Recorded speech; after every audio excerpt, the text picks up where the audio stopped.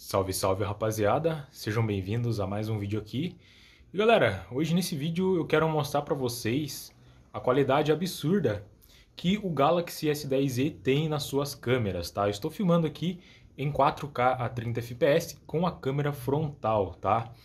Sim, eu estou fazendo mais um vídeo falando sobre o S10e, né? Porque ultimamente só tá saindo vídeo do S10e, tá bom? E eu quero mostrar aqui para vocês a qualidade incrível que esse smartphone tem nas suas câmeras, tá? Então, é...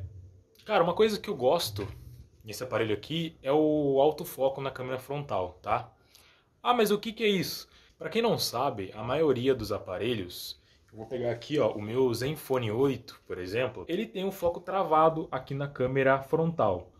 Então, por exemplo, né, aqui no S10e, se eu aproximar qualquer objeto, ó, estou aproximando aqui o Zenfone 8, o que está acontecendo aqui? Ele está focando, ó. Você pode estar tá vendo, ó. Eu tô, eu tô atrás, né, do celular e eu tô totalmente desfocado, né? Você pode ver que eu tô desfocado, né? O fundo está desfocado e o foco está aqui no primeiro plano que é o do celular, né? E o resto fica desfocado, entendeu?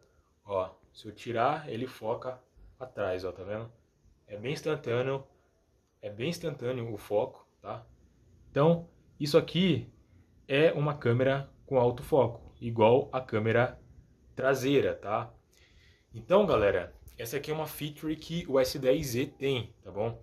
Então, você vai pegar aí um S22, né?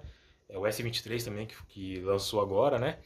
É, também tem essa feature aqui, tá bom? Então, eu acho isso bem legal, tá? Bom, e aqui dá pra gente trocar a lente, o quanto a gente grava, tá? Então eu estou filmando aqui com a câmera frontal e aqui eu troquei para a câmera traseira, tá?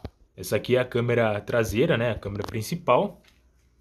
E olha só a qualidade absurda que esse aparelho tem, cara. Troquei aqui agora para a câmera frontal novamente. Mostrar o céu lá atrás. Eu não sei se está aparecendo, tá? Porque está escuro aqui a tela. Mas ele tem um HDR muito bom também, tá? Eu vou comparar aqui com o Zenfone 8, tá? A câmera frontal do Zenfone 8, para vocês verem a diferença, tá?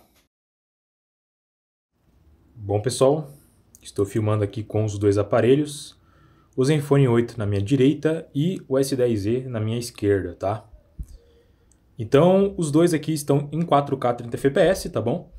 É, a vantagem aqui do S10e é que a gente consegue filmar até 4K 60 fps, tá? Ainda tem isso para a gente escolher aqui no S10e.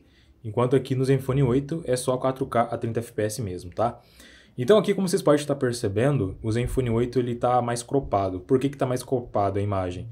Porque ele está fazendo aqui a estabilização, tá? Então ele tem aqui ó, a estabilização, enquanto no S10e a gente não temos estabilização na câmera na resolução 4K, somente em Full HD, tá, pessoal? Então por isso que tá mais cropado aqui a imagem no Zenfone 8, tá? Então o Zenfone 8 ele é um smartphone de 2021, né? Enquanto o S10e ele é um aparelho de 2019, né? Então tem a diferença aí de dois anos, tá? Então qual que vocês estão achando melhor aí? Ó, o Zenfone 8 ele não tem o autofoco, tá? Ó, tô bem próximo aqui. Você pode ver que no S10e o meu rosto está bem focado, né, bem de pertinho, ó. enquanto o Zenfone 8 ele não tem essa feature, tá? Então comente aí o que, que vocês acharam.